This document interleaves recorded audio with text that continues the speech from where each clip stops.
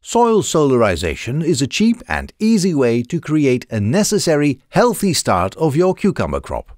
This is how it works. Rotate the soil with a milling machine or pitchfork to a depth of 30 centimeters. This allows the heat and oxygen to enter the soil. Lay irrigation pipes and water the soil. Cover the soil with plastic foil and thoroughly dig in the edges so no air can escape. Now the sun will warm up the soil while the plastic keeps in the heat and moisture.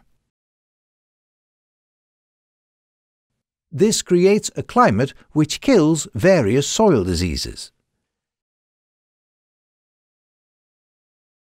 Keep the foil for at least 4 to 6 weeks to let the soil temperature rise. Above 45 degrees Celsius, solarization is effective. The higher the temperature and the deeper in the soil this is reached, the better the result.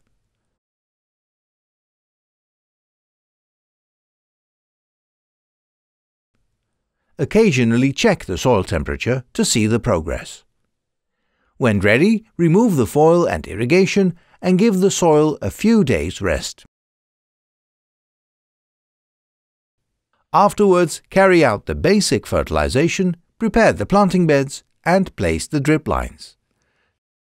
Now you are ready for planting. Check out the matrix with required soil temperatures below.